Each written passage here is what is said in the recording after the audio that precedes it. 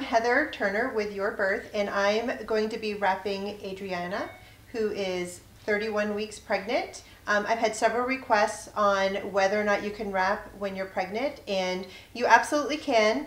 Uh, you may want to get your doctors, um, let your doctor know beforehand, just in case they have any questions about it. But um, otherwise, it's just basically providing support to the hips, and then you're just going to run out the wrap over your tummy.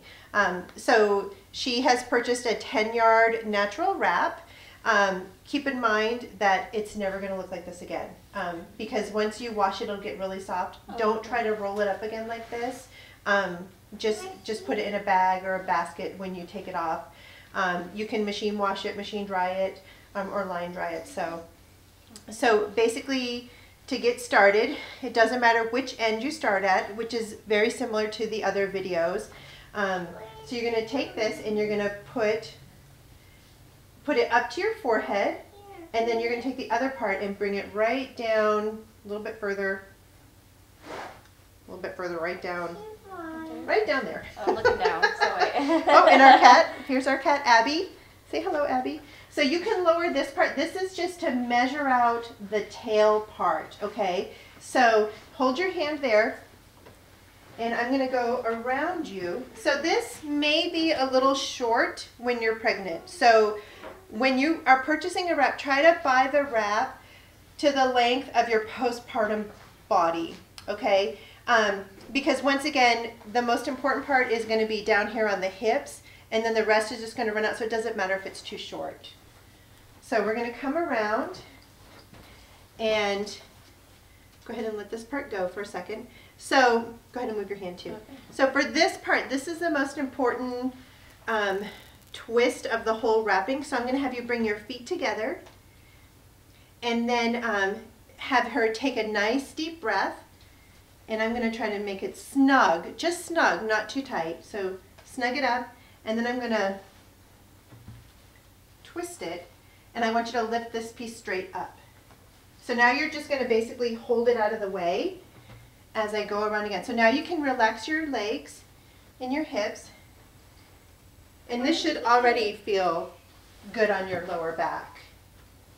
Do you feel a It's kind of difference? supporting it, yeah. Yeah. So now we're going to do another twist. And as I twist, I tug down just a little bit. Go ahead and lift that up. So once again, you don't have to bring your legs together for for any other than the first. Okay. Does that make sense? Yeah. So you get nice and tight on the bottom. What's that? So you get it nice and tight on the bottom. Yeah, nice and snug. So basically going around again. So all I'm doing, and I know you can't see, 'cause you're I'm literally just twisting this piece around this piece. But it ends up looking like knots. So now I'm going looser. Oh, she's kicking. Is she? So now I'm just going to go, I'm not making it snug. I'm just following the curve of her body now very, very gently. Go straight up.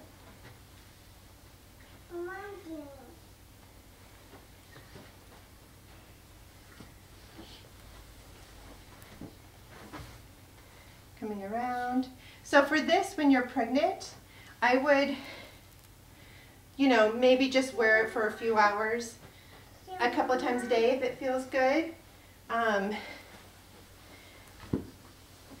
it offers quite a bit of relief on your hips and your um, and your lower back. Hi, Abby. Hello. We haven't seen her at all until we started filming. Once again, just coming around. Oh, I think this will be a really good size for you once you deliver. That's good. So I see. we come to the end, and now we're just going to tie just a, a granny knot. Once again, not making it too tight. And then you can tuck it if you want. Um, so go ahead and turn, turn around. And then one more time. So you can see it's really, really loose around her belly, but that's Yeah. that's the goal. We don't want it to be constricted at all. How does it feel in your hips? It feels like it's pulling the hips a lot right here. Yeah, Yeah. perfect. All right,